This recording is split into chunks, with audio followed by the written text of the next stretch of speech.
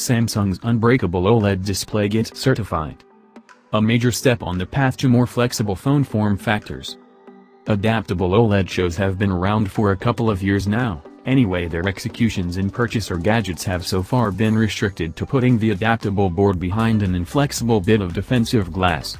Samsung Display has recently reported the following stage up from that, an adaptable OLED board that has a straightforward plastic cover effectively joined, copying the properties of glass yet holding the screen's natural adaptability.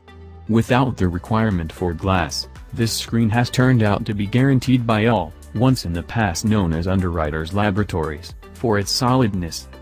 Samsung, portraying the new board as unbreakable, reports that it has withstood adults military gauges trial of 26 progressive drops from a stature of 1.2 meters, near 4 feet, and also extraordinary temperatures as high as 71 degrees Celsius, 159.8 degrees Fahrenheit, and as low as 32 degrees Celsius, minus 25.6 degrees Fahrenheit.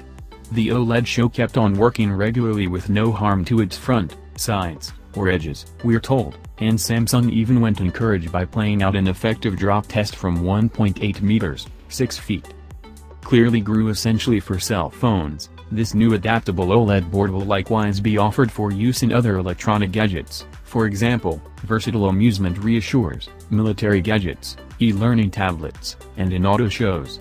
Samsung Display isn't putting forth a course of events for when we may expect an arrival of any items with the as far as anyone knows unbreakable OLED board inside them, and it still can't seem to declare large-scale manufacturing of the new segment.